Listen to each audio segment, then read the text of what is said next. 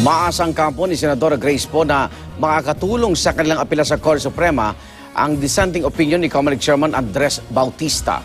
Saksi si Joseph Morong.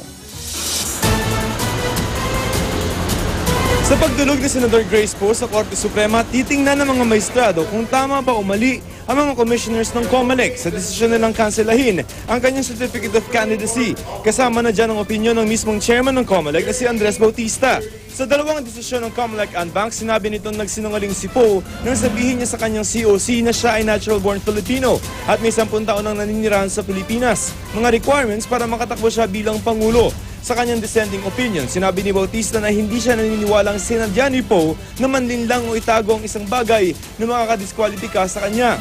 Umaasa ang kampo ni Poe na makatutulong sa kanila sa Supreme Court ang pagpanig sa kanila ni Bautista. Napakalaki pong tulong sa amin yung dissenting opinion po nila ngayon at dissenting opinion ni Chairman Bautista. Na dati-rati po nung si Chairman uh, Sixto Brillantes na nagdi-dissent, lagi po ako sa karanasan ko nakakakuha ng TRO sapagkat nakikita ng Korte Suprema. Mukha namang may sinasabi tama nung nag-dissent.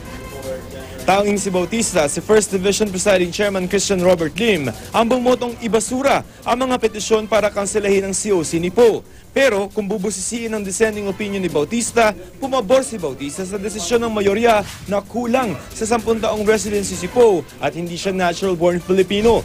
Sang-ayon si Bautista sa desisyon ng Second Division na nagsabing ang pinakamaagang panahon na pwedeng bilangin ng kanyang residency ay noong July 10, 2006 kung kailan siya naging dual citizen kaya hindi abot ng 10 taon.